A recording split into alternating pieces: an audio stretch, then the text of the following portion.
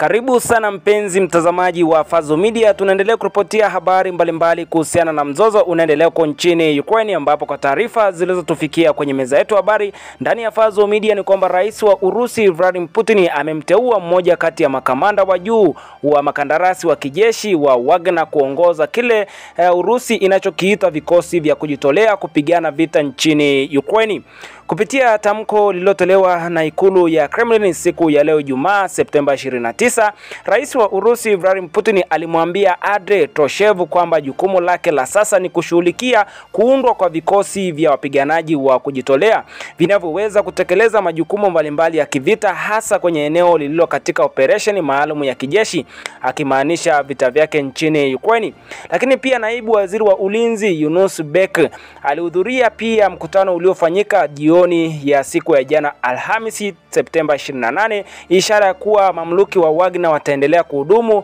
chini ya wizara yake. Lakini pia akizungumza kwenye mkutano na waandishi wa habari siku ya leo Ijumaa Septemba 28, msemaji wa Kremlin Dmitry Peskov alithibitisha kwamba Toshevu sasa anaifanya kazi kwenye wizara ya ulinzi na akataka masuala ya juu ya uwezekano wa wapiganaji wa Wagner kurejea Ukraine yaelekezwe kwa wasemaji wa jeshi.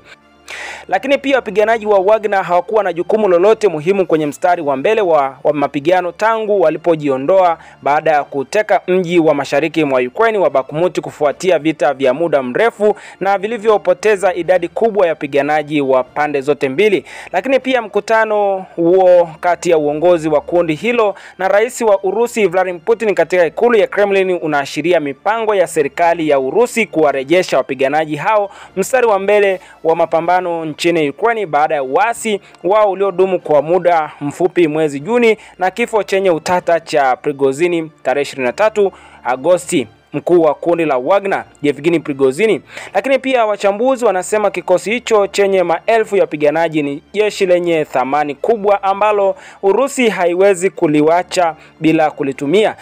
Lakini hayo yakiendelea, serikali ya Uingereza imetangaza hivi leo vikwazo vipya dhidi ya maafisa wa Urusi waliohudhuria na uchaguzi uliowezesha Urusi kuyanyakua majimbo matano ya Ukraine, Zaporizhia, Kherson, Luhansk, Donetsk na Crimea. Lakini pia London imesema maafisa hao waliowekewa vikwazo walishiriki kwenye kile ilichokiita chaguzi za aibu kwenye majimbo hayo. Lakini pia Uingereza kamwe haitatambua kwamba Urusi ndiyo yenye mamlaka kwenye majimbo iliyoyanyakua kutoka Ukraine, Crimea, Zaporizhia, Donetsk, Luhansk